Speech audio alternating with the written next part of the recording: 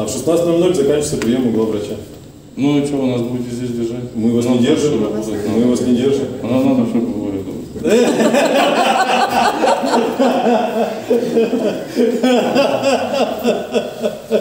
Всем привет! Хочу рассказать, как мы сходили к главврачу второй раз. Э, Напомню, в прошлый вторник, 19 апреля, мы ходили и не застали на месте ни секретаря, который по совместительству является э, председателем профсоюза, ни главврача, хотя за 10 минут до этого он э, ответил по сотовому телефону и сказал, что будет на месте, приходите. Вот. И ни одного из семи заместителей гла- глав- главного врача. То есть, ну, вообще никого не застали, просили пригласить главврача, никто к нам не пришел.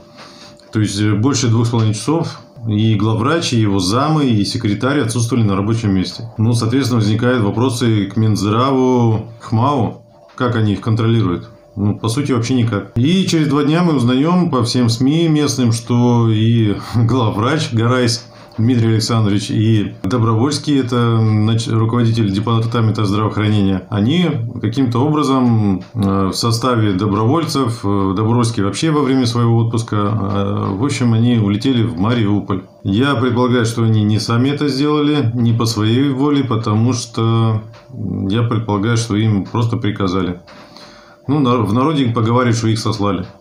Подальше от следствия, подальше от прокуроров, подальше, ну, вы сами знаете от кого. И э, вот буквально через неделю мы решили повторить и сх- опять пришли в эту в травматологию. В часы приема с двух до четырех, но дальше турникета и гардероба нас не пустил э, некий дежурный. Охранников у них, я так понял, нету.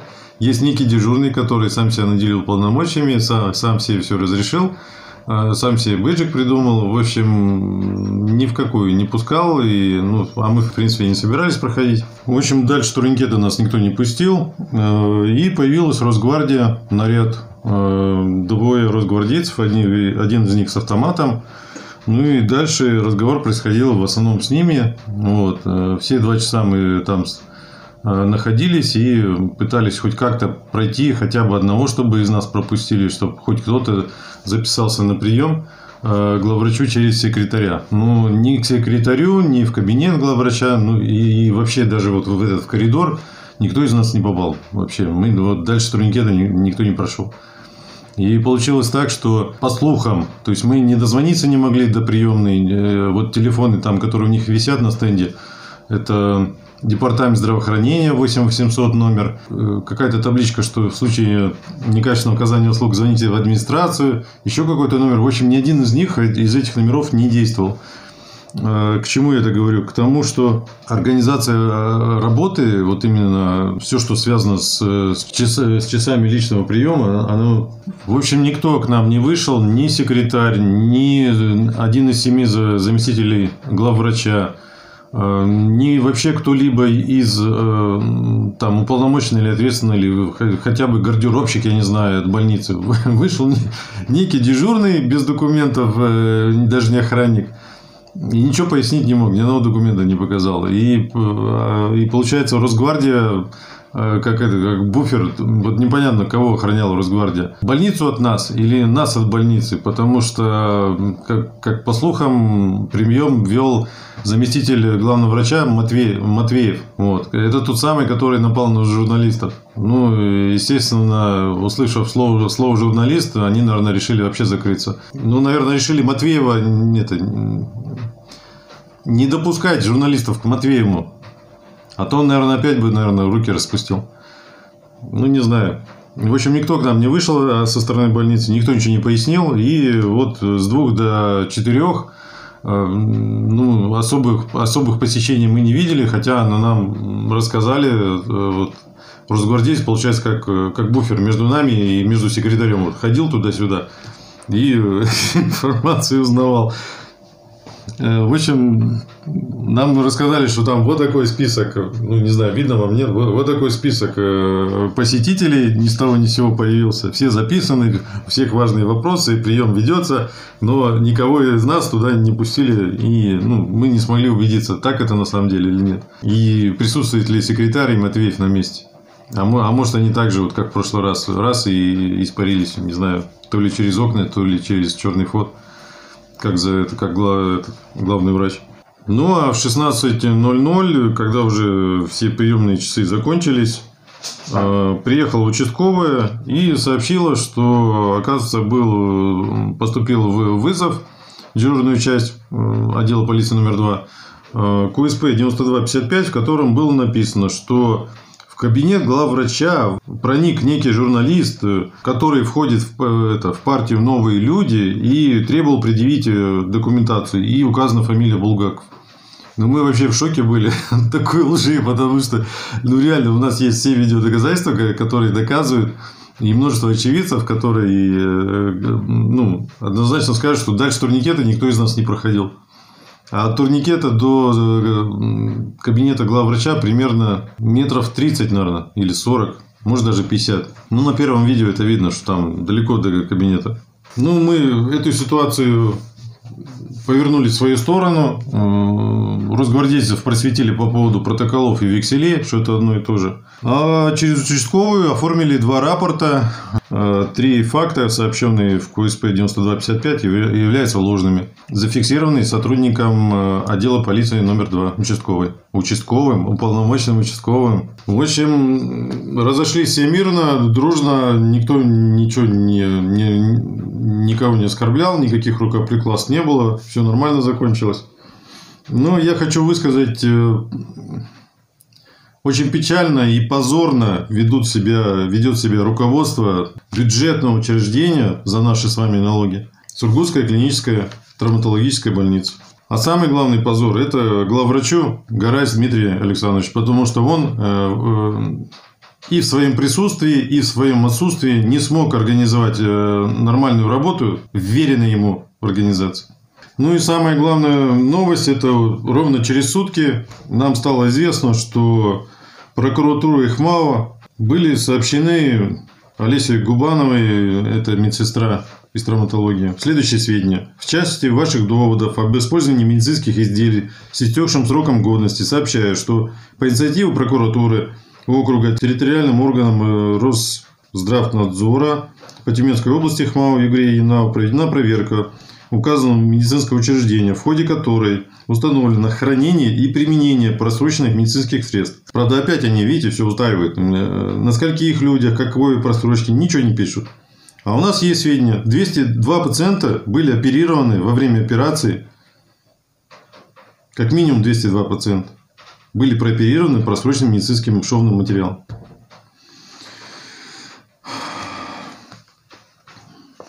По данному факту уполномоченным органом в адрес руководителя БУ э, ХМАО игры СКТБ, то есть вот в адрес э, главврача Гарайса, вынесено предписание об устранении нарушений. Ну, я не знаю, получил он его или нет, потому что он, он 5 дней назад, нет, уже 7 дней назад улетел в Мариуполь. В отношении должностных лиц э, учреждения составлены протоколы в административных, об административных правонарушениях по статье 6.28 КАП РФ. Ну, там штраф до 10 тысяч. Непонятно, сколько протоколов. Вот написано, составлены протоколы. Во-первых, сколько, а во-вторых, в отношении кого. Должны были фамилии как минимум указать. Я считаю, что вот за угрозу жизни, о которой они что-то пишут, да, вот дальше они пишут об угрозе жизни как минимум 202 человека прооперировали, и как минимум 202 человекам была, э, была угроза их жизни и здоровью. А они им административку этому персоналу. Так, в связи с, э, на, в связи с ненадлежащим осуществлением вед, ведомственного контроля Департаментом здравоохранения ХМАУ Югры, прокуратуры округа в адрес заместителя губернатора, то есть не в адрес э, Добровольского, начальника департамента здравоохранения, а в адрес заместителя губернатора Кольцова внесено представление, которое в настоящее время находится на рассмотрении. О его результатах вы будете проинформированы дополнительно. О чем представление? Вообще не ясно. В какие сроки оно должно быть исполнено? Тоже не ясно. Также в УМВД России по городу Сургут зарегистрирован материал по вашему обращению об использовании в учреждении просроченных медицинских изделий. По итогам проведенной проверки 20.04.2022 МВД России по городу Сургут по факту нарушения санитарно-эпидемиологических правил, создавшего угрозу массового заболевания людей, а мы с вами помним, что в отказе о возбуждении уголовного дела ни слова не было об угрозе. А тут есть, смотрите, угрозу массового заболевания людей. возбуждено уголовное дело по признакам преступления, предусмотренного частью 1 236 УК РФ. Ну, по слухам, это как раз вот та старшая медсестра, которая и фигурировала в предыдущих видео, по которому в настоящее время проводится расследование. Так вот, они возбудили, видите, по части 1 236 УК РФ. Я считаю, что это неправильно. По идее, вот 202 э, человека, почему мы ходили к главврачу и хотели задать вопросы? У нас главный вопрос и к следственному, и к главному врачу было, ли- были ли среди этих 202 пациентов, которые доказаны, дети младше 6 лет? с глубочайшим сроком просрочки, э, вплоть до 20 лет. Новорожденным детям, кстати. Это ужас. Так работаем и с детьми, и со взрослыми. Потому что если хотя бы был один ребенок младше 6 лет, то это уже не 236, где максимум наказания там до 2 лет, а 238, где до 10 лет. Видите, как они делают? То есть они 236, м, по моим предположениям, возбудили только против э, одного человека. Протокола по административке составили как минимум э, против двух человек. А главврачу просто предписание вынесли.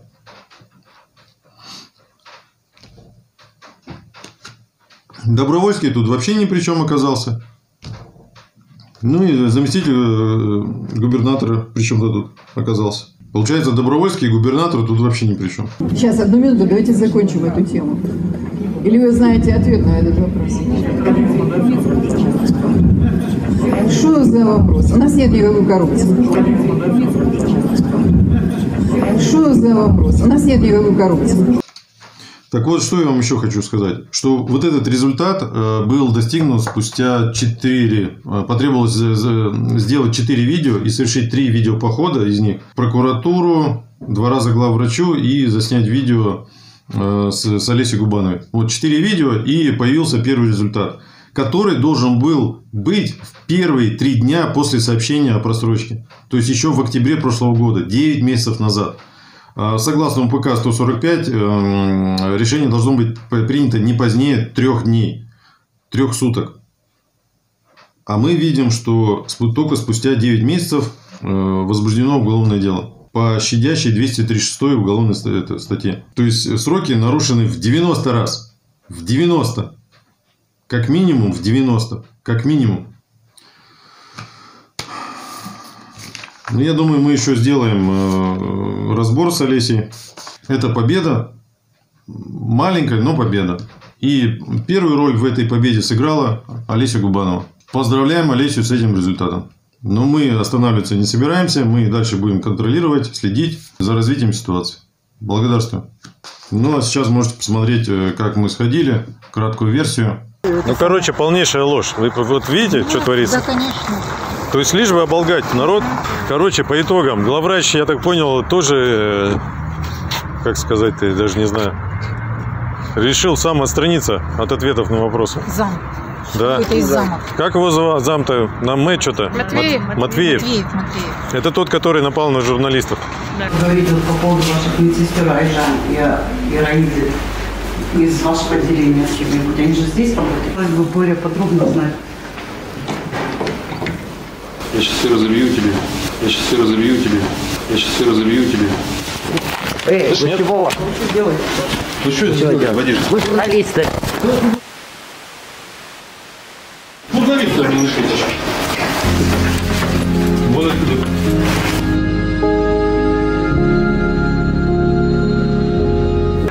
Может, даже хорошо, что мы к нему не попали. Я после вот таких нападений, а, да, я, я реально, меня могли тоже побить запросто. Могли технику сломать.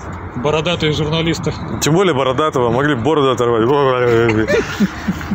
Как подумает, страшно становится. Вообще. Вот. Ну, в общем, делают все, лишь бы отвлечь внимание от просрочки и двух смертей. 202 пациента, и никто не хочет это проверять. Никто. Смотри, у тебя есть несколько вариантов. Ты можешь дать объяснение, полностью то же самое написать. Ты можешь написать объяснение короткое, э, второй вариант, э, объяснение короткое и указать, что все, все, дета- все подробности указаны в протоколе принятия устного заявления от 26.04. И третий вариант, ты можешь вообще объяснение не давать, а потребовать, чтобы э, объяснения были приняты в форме рапорта. То есть ты словами можешь опять же, полную версию сказать, можешь короткую версию сказать, но ты э, к бумаге не прикасаешься. Э, Сотрудник полиции оформляет в виде рапорта с твоих слов. Ты не обязан представлять какие-то документы, все с твоих слов устанавливается. То есть ты можешь вот сейчас через рапорт зафиксируешь. Либо вот объяснение все Просто если ты откажешься- устного заявления, все. Смотри, если ты откажешься от не объяснения, они будут использовать этот факт в свою пользу. Тебе обязательно нужно э, дать Все объяснение. Протоколе устного заявления, все содержание, э, то же самое у вас. Нет, не то же самое. Тут видишь, фи, вот, вот, установочные данные, а, то есть их бланк. Это, ну, как бы недееспособная персона сообщает. А если ты через рапорт, будьте добры, пожалуйста, на чистом бланке или бланк рапорта, достаньте, пожалуйста, оформите рапорт. Есть формата А4 чисто. Есть, есть вот листочек. Пускай рапортом оформляют. Вот ты сейчас подумай хорошо, как ты будешь э, говорить и что, кто ты. Ты не обязан показывать паспорт. Все с твоих слов должно быть зафиксировано. Присаживайтесь. Я писать должна или нет? Нет, а- они пишут рапортом.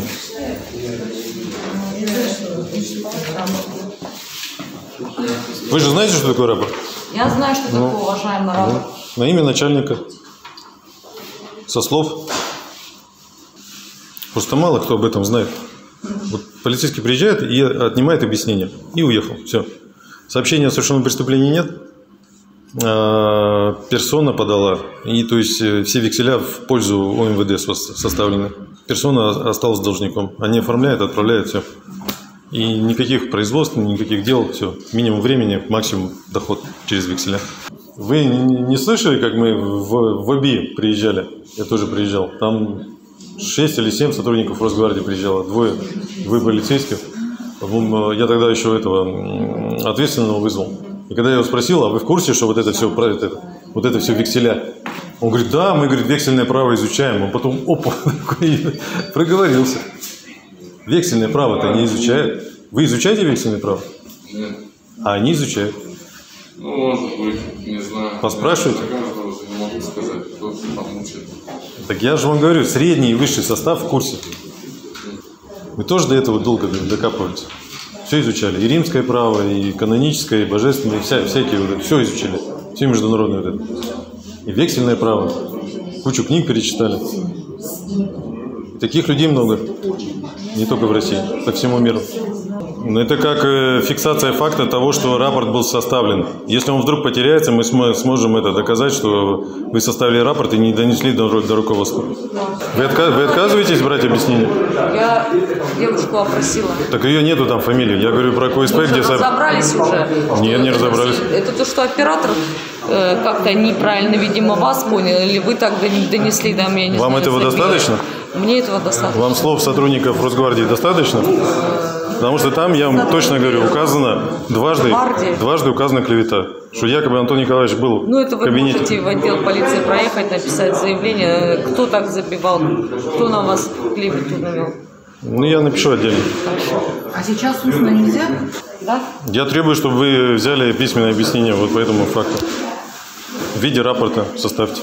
Так. Потому что я вижу, там, что там дважды сообщена клевета, и вы с этой клеветой уезжаете, не убедили это, Я не уже оформив вы- письменные я уже доказательства. выяснила, что Ну, это вы на словах выяснили. У вас Как нету... на словах? Я на приняла словах? заявление рапорте, вот то, что изложила девушка, указала. Ну, там нету В взаимо- взаимосвязи нету. Между этим куспом, между этим куспом и ее В протоколом. объяснении даже главврача я объяснение, потому что ваша там вообще фамилия не фигурирует по факту вот женщина, то, что обращалась, ее записали все. Я не вижу никакой Ваша взаимосвязи. фамилия. Я все равно настаиваю оформить рапортом э, это, Рапортом или протокол устного заявления? рапортом. У вас же номер КСП, вы по КСП обязаны взять объяснение. Вот по КСП я хочу, э, чтобы вы оформили объяснение в виде рапорта. У вас листочек. Чистый листочек дайте, пожалуйста. Ну, Э, э, да, это быстро будет. 26 Угу.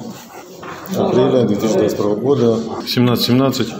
А, так, а, Нефтеюганское шоссе мы записали, да? По адресу Нефтеюганское шоссе 20. По КСП номер 9255 сообщил следующее. Что в кабинет главврача не входил 26.04.2002. 22. Запятая. Дальше турникет а, рядом с гардеробом не проходил. К партии «Новые люди» никакого отношения не имеет. И требует провести проверку ложных фактов, указанных в КСП 9255. А, точка. Так. Э, никаких требований предъявить документы на срок и пригодность медикаментов не озвучил. Дата, время, ваша фамилия, имя, отчество полностью. Так, и давайте я сфотографирую рапорт. Ты его уколола, и он закрылся. А, а если по-доброму, нормально, они, они так раскрываются, они как цветочки такие Он в конце-то как раскрылся. Ну, видишь, как раскрылся? Отпускать нас не хотел. Давайте еще пообщаемся. А если бы ты его вот так вот э, уколола и драконила постоянно, ну, э, тут бы не только Росгвардия, тут бы, тут бы еще кто-то приехал. Нельзя, это все гасить надо. Надо учиться. Вот, ну что, я, первый, я специально поехала, чтобы поучиться, как вот это вот все вот с ними вот взаимодействовать. Это все, вот, вот любой конфликт надо гасить. Вот Андрюха там докопался до какого-то приказа, дайте копию. А мы его... Три-четыре раза докапывал. Я, я- я пришел, остановил. Этот давай там еще что-то докапываться. Я пришел, его остановил. себя хорошо вела, да? Вот смотри, Ну, отлично, я, я не помню даже, что ты там была вообще. вопрос вот такой. Вот Ну. сейчас они все в, это, в устной форме взяли, это по- объяснение им не дала, там написали мы в конце, что пояснение, да, это там есть в этом, короче. Они, Объяснение. Да, они не могут там еще дополнительно там от, от меня написать что-то это. А чтобы ты же я- сфоткала. Чтобы я объяснилась. А ты же если- сфоткал. Ну, вот самое главное, то, что у меня вот Обязательно есть. любой Что документ я- я всегда ничего, сфоткать. кроме Фоткать этого, надо. ничего Все, разбирайтесь. Да, и меня вот это больше всего удивило, то, что он сегодня в кабинете как бы, Ну что, растешь на глазах? врача. Я? Да. Так с вашей Партия- помощью. Партия люди. А, да. Я, я слышал о такой партии. Я даже у них в офисе был. Я даже думал написать какую-то бумагу о вступлении каких-то там сторонников, но я ничего не писал. Я пришел, посмотрел, познакомился. Мысли материализуются. Ну, пришел, посмотрел, ну, они вот где-то на Ленина находятся в этой свечке. Я посмотрел и ушел. Все, больше я с ними никаких контактов не имел, ничего не подписывал, э, вообще не, все. А тут э, с чего-то не взяли, что это новые люди. Какие еще ты умеешь А как получается? А, да, еще я умею телепортироваться, оказывается. Я как каким-то Не, а образом. как он сам себя вызвал тогда, получается? Кто? Там же по этой бумаге, я так поняла, что Нет, Александр вызвал. ее вызвал, вот эту девочку. Он, он, э, нет, он ее не вызывал. Нет, он сообщил фигне. своему руководству. Руководство обязано доложить в полицию. И вот этот номер КСП, он, он- они обычно звонят 112. Вот там написано 28, что-то 02. Это, короче, телефон Росгвардии, который находится на Нефтеюганском, вот тут вот рядом. И они звонят в полицию и оставляют сообщение о совершенном преступлении. А, а, полиция реагирует, дежурная часть отправляет полицейского, и он должен приехать и взять объяснение. Все. Это дол- доложил, смотри, Чирыгов РМ. Да. А, ну, она говорит, что это ее начальник. То есть э, начальник... Ну, э, а как это вот? Ну, А, А тут непонятно, чего? кто это такой. вот Начальник заявитель Гидатулин какой-то. Во-во-во. Гигатулин. Дальше турникета я не проходил. Все. А? Всё. А, подождите, так это, это получается был этот кабинет главврача. Па, точно, вот же, зафиксировано на бумаге. Он на Находился в кабинете главврача. Вот до турникета это кабинет главврача. Возле Шакира, что ли? Ну да. А, Тут написано, что на месте гражданин сразу не Булгаков. догадались это? Ну, Надо было Не записаться где да, прям там надо было записаться на прием. Они нас не пускали, говорят, вы и так в кабинете. Куда вы прете? Новые люди. Как журналист СМИ, Камчатский регион. Ты мне скинула? Холодно. Ты мне скинула? Да, я скинула. Все, поехали. Вообще жесть.